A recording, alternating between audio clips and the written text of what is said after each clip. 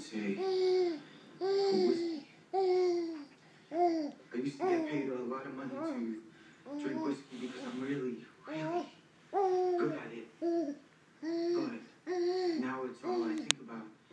The way the whiskey makes me feel and I don't want to be that person, the person who does that, who drinks whiskey for a living. And I just hope that by coming here and talking about it, I can stop drinking.